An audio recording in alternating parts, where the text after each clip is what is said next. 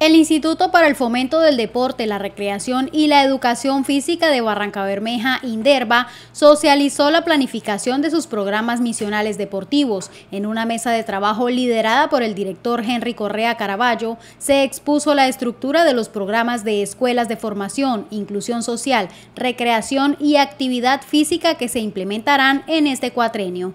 Ya planificamos nuestros programas institucionales Así que muy pronto Barranca Bermeja pendiente porque vamos a darles a conocer toda la estructura deportiva que va a tener nuestro instituto en frente del deporte en Barranca Bermeja.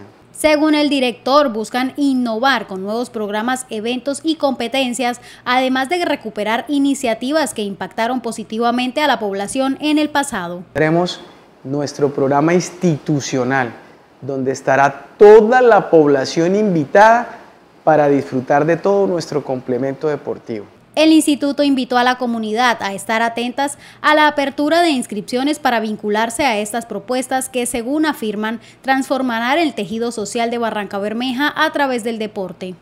Vamos a trabajar en los programas adicionales con recreación, actividad física, escuela de formación deportiva, discapacidad e inclusión, con novedades que están plasmadas en el plan de desarrollo. Las autoridades deportivas locales manifestaron que con estas estrategias se benefician a niños, jóvenes y adultos de todos los segmentos poblacionales.